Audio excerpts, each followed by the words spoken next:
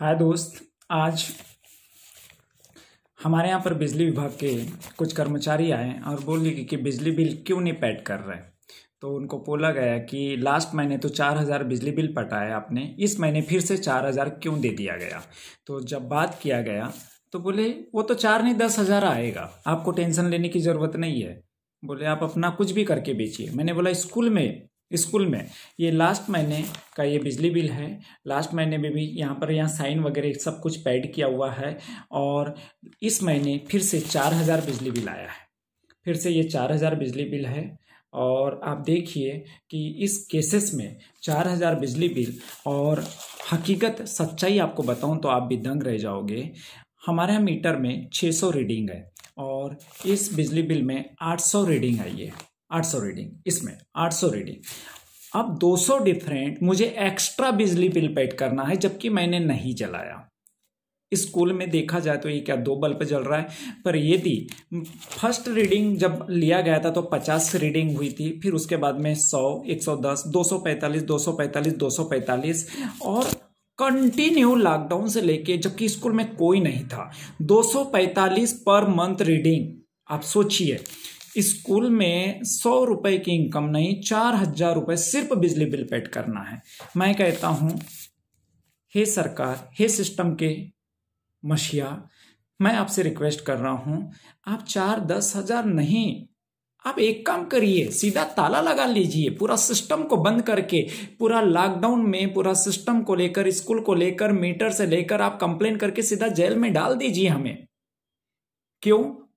क्योंकि ऐसा भी रहकर यहाँ क्या कर सकते हैं अपन? तोड़ना है तो पूरा तोड़िए पूरा तोड़िए। चार हज़ार बिजली बिल मत दीजिए, चालीस हज़ार दे दीजिए और कोई दूसरी, कोई और स्कीम निकाल के आप अंदर करवा दीजिए और तोड़िए आप। बहुत बुरी तरीके से तोड़िए। मेरे जैसे व्यक्ति को आपको तोड़ना पड़ेगा, जब ही कहीं से एक भगत सिंह निकलेगा, क्योंकि इतना अति मत करिए, इतना अति मत करिए कि बहुत बुरा उसका भयानक रिज़ल्ट आए। आज विचार रहकर विचार खत्म हो गया, आँख रहकर दिखना बंद हो गया है और आवाज़ रहकर बोलती बंद हो गई है। ऐसा सिस्टम किस काम का? तोड़ दीजिए। कहीं ना कहीं तोड़िए। आप तोड़िए, सब तरफ़ से तोड़िए। हर प्रकार के बिज़नेस को सब कुछ बंद करके क्यों बंद चालू बंद चालू कर रहे हो? आप पूरा तोड़ दीजिए। स्कूल तो बर्बाद हो ही गया सिस्टम बंद हो गया इंस्टीट्यूट बंद हो गया, हर प्रकार के बिज़नेस बंद हो गए। आपको चिंता नहीं है किसी भी प्रकार की। रियल में बता नहीं सकता, नफरत इतनी कुट कुट के भर रही है आज की डेट में। ये आप तैयार कर रहे हो, मेरे जैसे व्यक्ति को तैयार कर रहे हो।